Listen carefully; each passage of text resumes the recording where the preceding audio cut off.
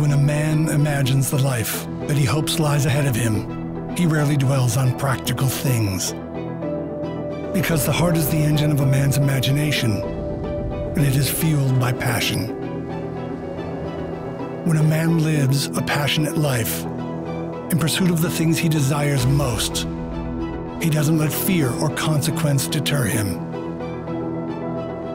He knows there are people he is meant to meet, conversations he is meant to have, things he is meant to see, and cars he is meant to drive. The Alfa Romeo 4C Spider is one of the great passions in life that must be experienced.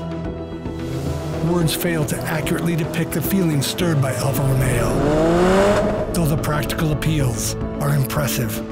0 to 60 in 4.1 seconds.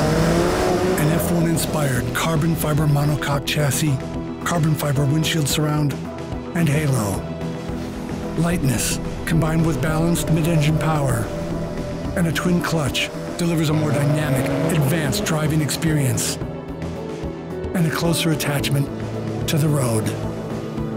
These are facts that demand respect. But the true essence of Alfa Romeo cannot be quantified. There is no gauge for beauty, no tachometer for exhilaration, no measure for the desire every line and detail inspires.